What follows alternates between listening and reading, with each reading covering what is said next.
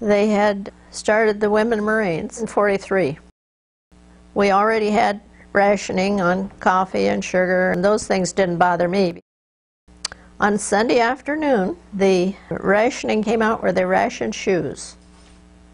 And Monday, I was going down to buy a new pair of green shoes to match the outfit that I had just bought. Couldn't get the shoes. So I said, well, I guess we'll take care of that. I'll go down and join the Marines. I'll get all the shoes I want. Of course, they're all brown, but I got all the shoes I wanted. And I ended up going to a little uh, outlying base called Edenton, North Carolina. I worked in the telephone office. You know, the boys were training and they were going to battle. And of course, everybody knew they were going to battle. One day they were all lined up, they were in, in formation, going to get on the train, and uh, they were right outside the door of the telephone office. I mean, you could have called them and drug them in there and they could have talked to their mother or their girlfriend or whoever.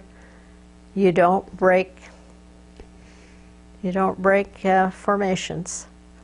And that was pretty hard. To know that they were that close and they might not ever get back and that would happen.